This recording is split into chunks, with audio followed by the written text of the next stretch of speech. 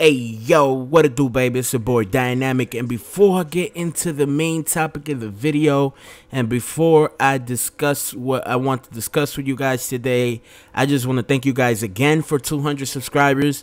I know I made kind of like a 200 subscriber special video for you guys and I hope you guys enjoyed it and yeah, so anyways, I'm going to talk a little bit about the video today. So basically what the hell am I doing here? Okay.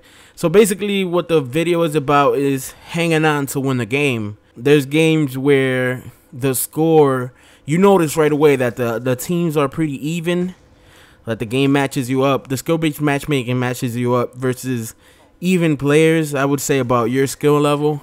And if you don't play to the best of your ability, it's really easy to go down by a lot. So pretty much as this game was going on, I noticed rather quickly that the other team they they matched up pretty good. So what we had to do was I me and K Bliss, my cousin, we're the best two players on the team.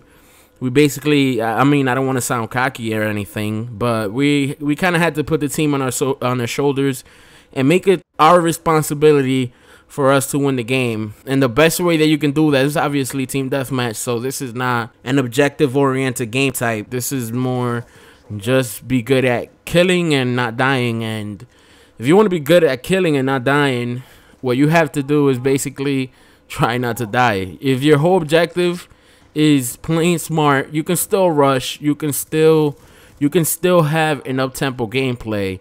You just can't do you can't do idiotic things. Like I see players that that they risk for the sake of getting maybe one or two kills, they risk their life and they put themselves in bad positions to succeed. And if you really think about this, a lot of people don't think about this, but if you do bad in a game, you are basically dragging down your team, not just not just because you had a bad performance, but you are also giving the enemy team score streaks. If you are doing really terrible in a game and you're making dumb mistakes, you're going to be feeding the other team you're to be feeding them something that's to help them get even more kills. But not just on you, also on your teammates. So you're dragging your teammates down. So what I would suggest is if you're not a really skilled rushing player, this is to contradict something that I've said in the past.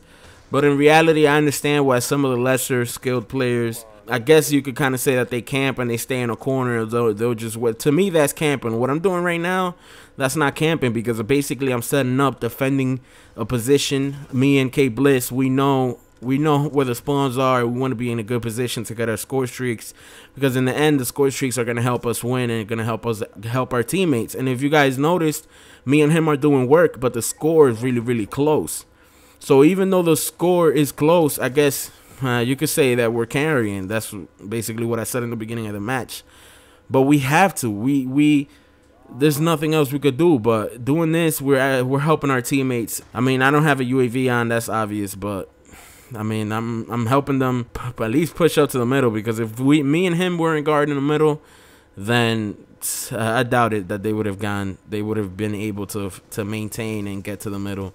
So that was our job basically the whole match. Also, something else that I do to help my teammates out is that when I go into a game, when I go into a game and the lobby is really, really good players, there's really good players on my team and on the other team. And I know that I'm not gonna be able to get my score streaks that easy if I if I'm using high score streaks. What I like to do is use the use the UAV, counter UAV, and the orbital VSAT or use the UAV, the orbital VSAT, and the EMP. And the reason that I do that is because I, I want to maximize my teammates' potential. So when I do that, I, I'm giving them I'm giving them basically my contribution. I'm trying to help them build their their score streaks basically. And that's something that I like to do, you know, try hard mode. You play versus players that are really good. And we all know players that play in the game and if the lobby is too tough and the players are really really good players, they they would rather back out, right, and lose. They would rather lose and back out after the first match or maybe the second match when they see that twice in a row they have gotten destroyed basically. They would rather back out than stay in the game.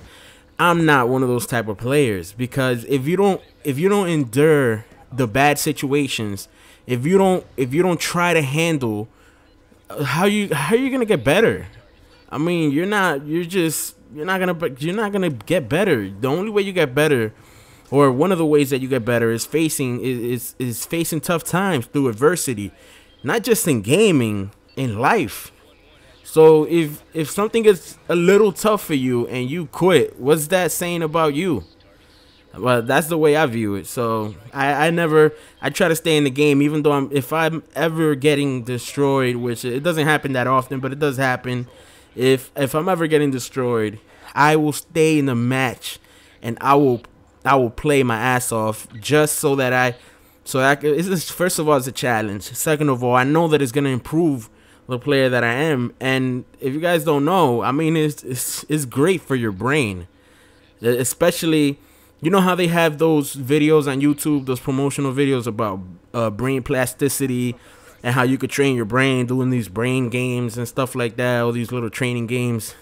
There's nothing that is going to improve critical thinking or fast reaction than playing Call of Duty or playing Halo by the way if you you're into Halo or playing any competitive game that is incredibly that you play versus other people that is incredibly competitive. And in my opinion, Call of Duty is the most competitive because people take it to heart. Last night in one of my games, there was a girl with a little bit too much of testosterone, and this girl was raging every time I killed her. So people take it to heart and people play tough.